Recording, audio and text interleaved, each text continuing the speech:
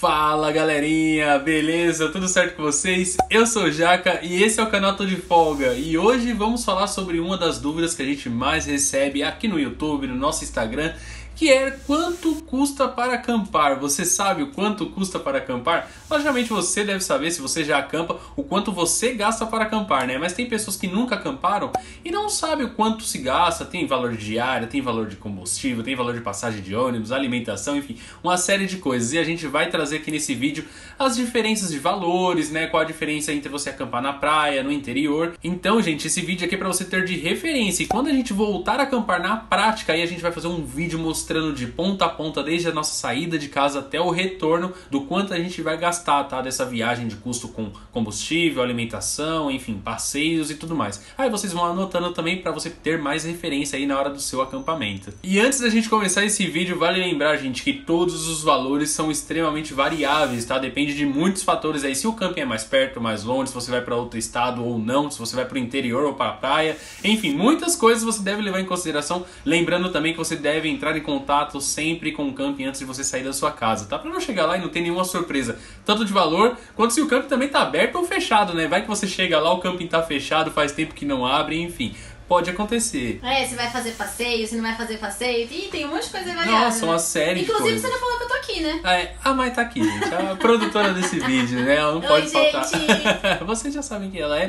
Pra quem não conhece, assista o vídeo anterior que ela tá lá, ela que gravou. Então vamos começar com a diferença entre campings na praia e campings no interior, tá? Esse é o primeiro ponto aí antes de você sair da sua casa que você já deve pesquisar. Na praia, a gente já tem um preço um pouco mais padronizado entre os campings, tá? E o que faz a diferença entre os valores é a localização, né? Tem aqueles campings que são pé na areia, tem os campings que são um pouco mais afastado e a variação fica normalmente entre 35 a 50 reais, isso fora da temporada, tá? Agora na temporada, na alta temporada, que é no verão ou feriados prolongados, os preços são bem variáveis. Aí você né? sente e chora, né? Nossa, aí vai embora, porque assim, são muitas variações, né? Mas os preços não são baratos, tá? Deve-se levar isso em consideração. E um outro ponto também da praia é que qual é o atrativo do camping na praia? É a própria praia. Então você vai para o camping, mas normalmente você passa o dia inteiro na praia, né? Você não fica ali dentro da estrutura do camping, aproveitando e tudo mais. Então você necessariamente paga mesmo pela localização. Logicamente tem algumas exceções, né? Que a gente conhece, aquele resort, o Batuba, tem uns campings aí que são mega estruturados, mas tudo bem, você também está pagando por isso. Mas essa é a grande diferença, tá?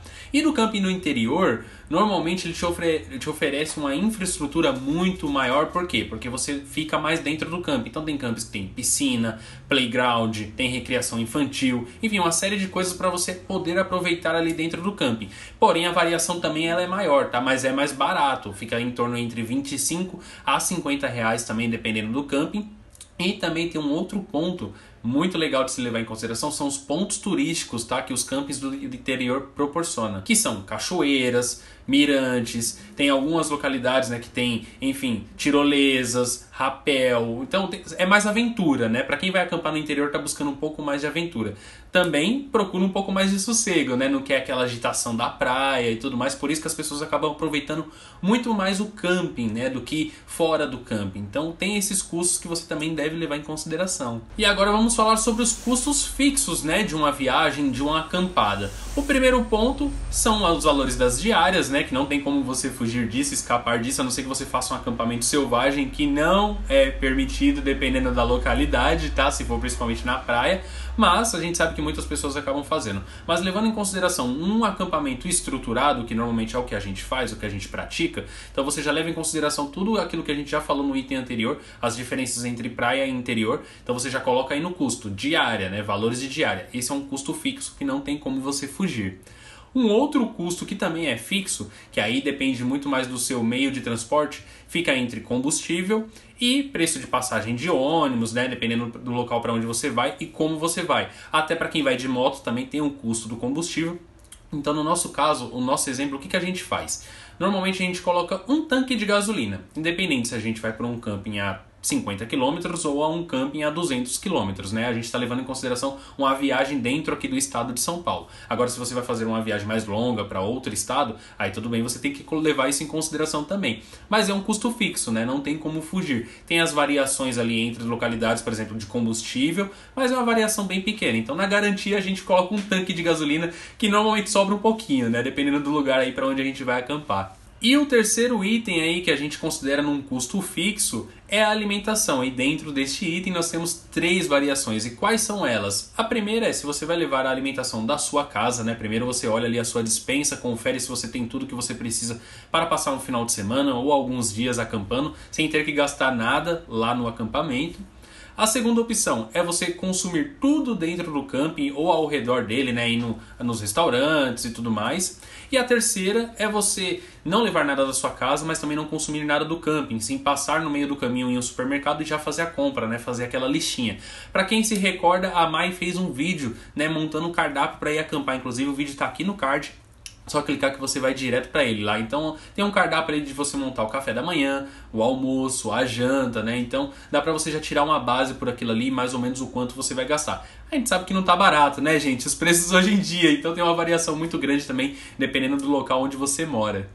E se você está gostando desse vídeo, não esquece de deixar o seu like, compartilhar ele com todo mundo, com seus amigos, com seus familiares, para aquela pessoa que nunca acampou, que nunca acampou, que não tem noção nenhuma de valores, tá pessoal? Então vamos compartilhar, vamos deixar o like que ajuda muito a nossa criação. E agora vamos falar do custo rotativo. Qual é esse custo rotativo? Normalmente para os lugares onde você vai, onde tenha pontos turísticos normalmente tem atividades, né, que você acaba pagando ali por fazer. Rapel, tirolesa, boia cross, enfim, passeio de barco. Então esse normalmente entra num custo rotativo porque você não está considerando na sua acampada, né? Pode ser que você chegue lá no local, olhe aquela atividade e você fala, poxa, quero fazer. Então você já está tirando do custo da sua acampada, incluindo nesse custo rotativo, tá? Então, se você vai de você, bom, ou essa acampada eu vou acampar para ficar mais tranquilo, não vou fazer nenhum passeio, ou ah não, eu vou levar um dinheirinho a mais aqui porque se tiver alguma atividade a mais, ou eu vou fazer, vou comer num restaurante, por quê? Aquele negócio que eu falei para vocês, a alimentação ela entra num custo fixo, mas também pode entrar num custo rotativo, né? Às vezes você tá lá no campo e fala, poxa, ah, aqui no camping eles servem pizza, sei lá, tem hambúrguer, tem food truck. Já aconteceu, a gente já foi em campings que tem, né? Às vezes num feriado prolongado e tudo mais. Então isso entra num custo rotativo, né? Não é sempre que você vai ter esse custo, mas deve se levar em consideração também. É, mas aí é que tá a arte de acampar, entendeu? Se você tá no período que você tá sem grana, tipo assim, meu, eu quero viajar, mas eu não tô podendo gastar. Então esse seu custo rotativo, ele não vai existir, porque você que vai fazer ele existir ou não. Então assim, Isso. assim, dá pra você ir só com basicão, aí é que tá, né? E por isso que acampar é bom demais. não, dá pra você ir com é justo, básico, né? com um simples exato. Ele é, como é que se diz? quando ele é para todo mundo, né? Ele é democrático. Ele é democrático. o acampamento ele é democrático. Tem para quem tem muito dinheiro, para quem tem pouco, enfim, para quem quer consumir muito, para quem quer consumir pouco. Tem para todos os gostos, gente, para todos os bolsos também, tá? E um outro custo que você deve levar em consideração é o custo com equipamentos, né, gente? Sem equipamento não tem como você fazer a sua acampada. Então tem o custo com barraca, colchão inflável, fogareiro e tudo mais. Logicamente, se for o seu primeiro acampamento, você vai pensar: hum, será que vale a pena comprar os equipamentos ou eu posso alugar? ir a primeira vez e ver se realmente eu vou gostar e tudo mais. Então, tudo isso você leva em consideração.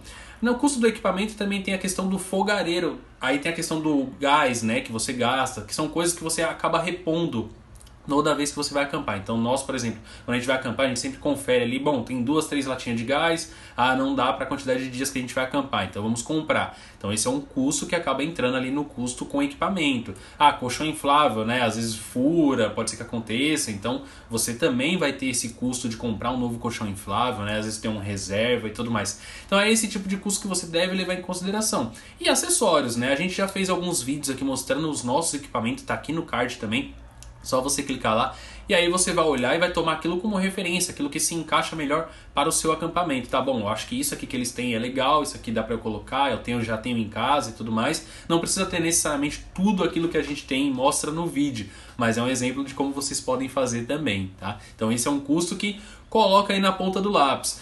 E você, Mai, tem alguma coisa para falar ainda sobre esse vídeo? Não, eu acho que quando fala sobre equipamentos, é bom levar em consideração também que as compras, elas acontecem assim de anos e anos e anos. Então, Sim. é muito variável também. Às vezes você vai comprar agora, mas depois você só vai comprar daqui, sei lá quantas acampadas, daqui quanto tempo.